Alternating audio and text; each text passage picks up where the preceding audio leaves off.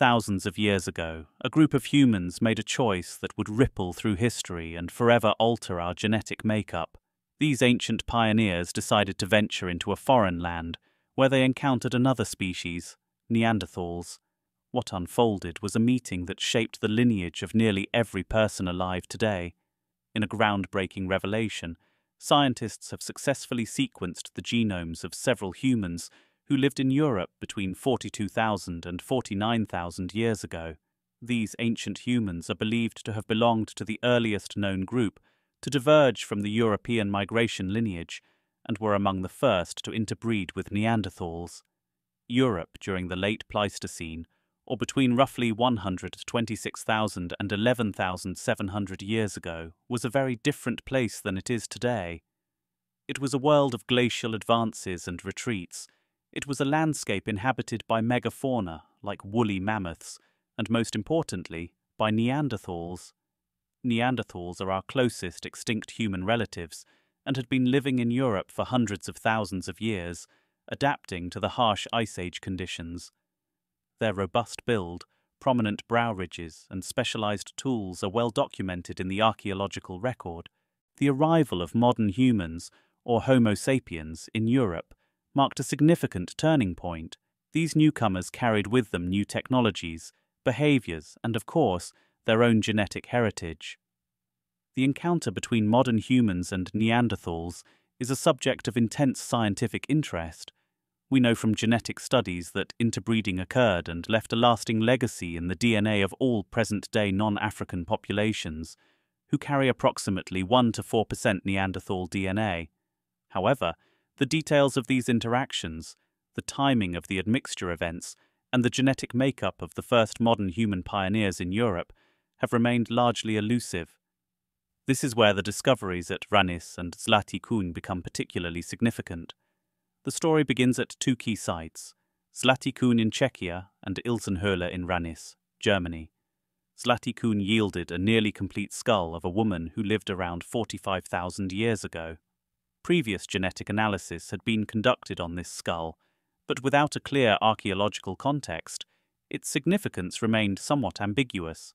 The Ilsenhöhle cave in Ranis, located about 230 kilometers from Zlati Kun, presented a different kind of puzzle. This site is associated with a specific archaeological culture known as the Lincombian Ranisian Jerzmanovian, or LRJ. This culture is characterized by distinctive stone tool technologies and dates back to approximately 45,000 years ago.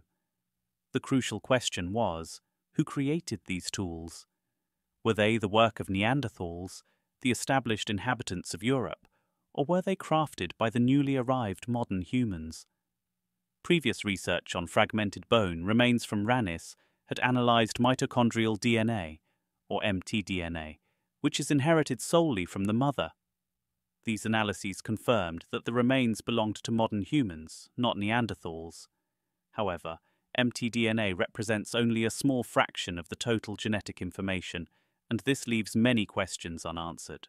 The recent study published in Nature took the research to a new level by analyzing the nuclear genomes of the 13 specimens from Ranis.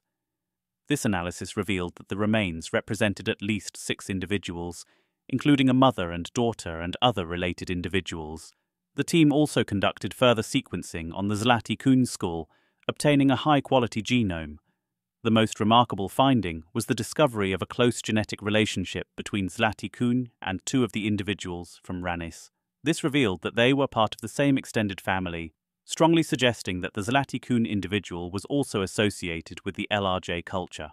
This finding finally provided the crucial link between the archaeological evidence, the LRJ tools, and the genetic evidence, the modern human remains. One of the bones from Ranis, designated Ranis 13, was exceptionally well preserved. This allowed researchers to obtain a high quality genome, making it one of the best preserved modern human genomes from the Pleistocene. Combined with the enhanced Zlati Kun genome, these represent the oldest high-quality modern human genomes sequenced to date.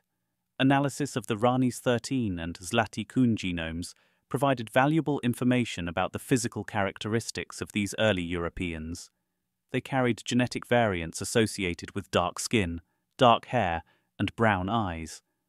Furthermore, by analysing shared genetic segments, the researchers estimated that the population to which these individuals belonged was relatively small, likely consisting of only a few hundred individuals spread across a wider territory. This suggests a small, mobile group navigating the challenging landscapes of Ice Age Europe. Perhaps one of the most surprising findings was that this early European population appears to have left no direct descendants in present day populations. This indicates that this particular lineage either went extinct or was assimilated by later waves of human migration into Europe.